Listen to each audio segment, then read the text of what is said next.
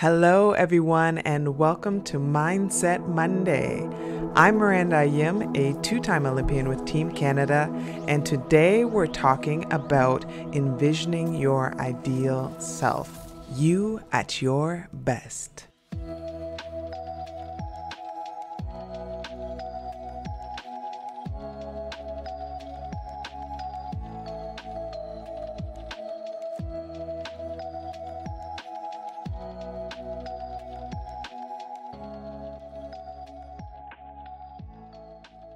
What kind of expectations do you have for your life? Put aside the goals and results and achievements for a moment. What do you want your life to look and feel like in 10, 20, maybe 50 years? While we can't control exactly what will happen, we can control the general direction we're going and what type of person we want to be in that eventuality.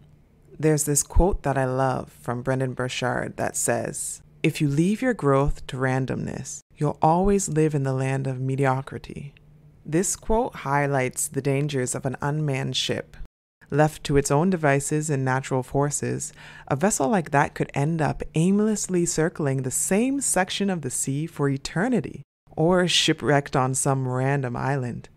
There's a certain exercise that I love and that I first did with Team Canada's mental performance coach, Bryce Tully. The first step is to identify three words that describe your ideal self. More precisely, if you could imagine the best version of you, who you'd like to be in the future, what would she or he look like and feel like? What would you exude?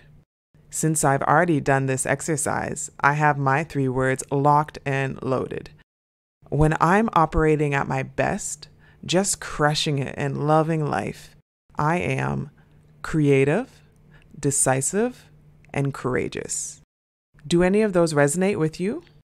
Maybe a word just adjacent hits the spot, or the complete opposite. Imagine your best self killing it in all the ways you wish you could. What do you see? What words come to mind? Still having difficulty? Flip it around and recall the past. Imagine a time when you felt unstoppable, high performing, satisfied. What words would describe you in those moments? When we imagine that person, we start to see what we should be emulating every day.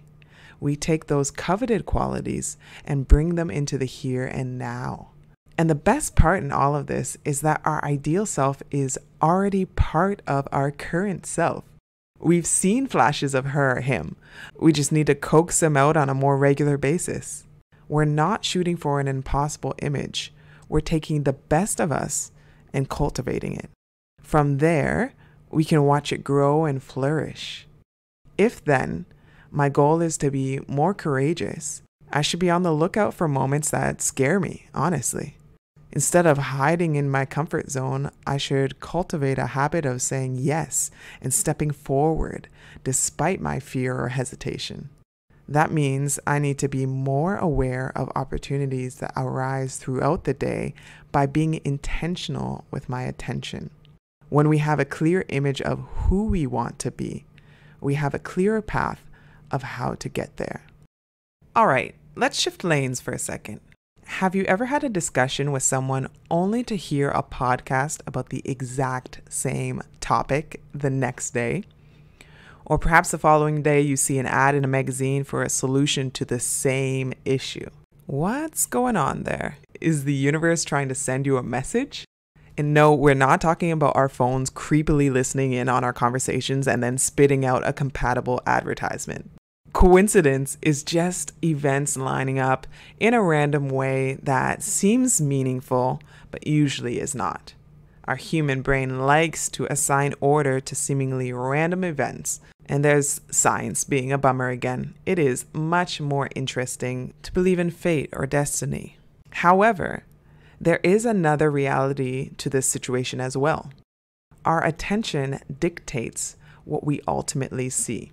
We are primed to search for confirming data for our mental state. Our brain is subconsciously looking for additional info to support those thoughts.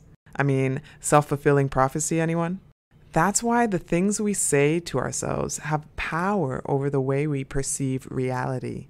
If we're constantly saying to ourselves, I'm at my best when I'm generous, or I'm at my best when I'm calm, we're going to look for ways to reinforce that state of being.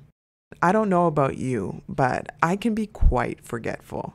When something isn't in the forefront of my mind, even if it's proven quite helpful, I can forget all about it. That's why we need something simple, like three words, for example, to remind ourselves to be intentional on a daily basis. By doing this, we can start to see that ideal person become a reality. So, what are your three words? Take a moment to write them down, reflect, revisit them, and see if you can consciously coax out your ideal self on a more consistent basis. Thank you once again for tuning in to this episode of Mindset Monday and the Miranda Ayim podcast. I hope you have a wonderful rest of your day and continue cultivating your best you.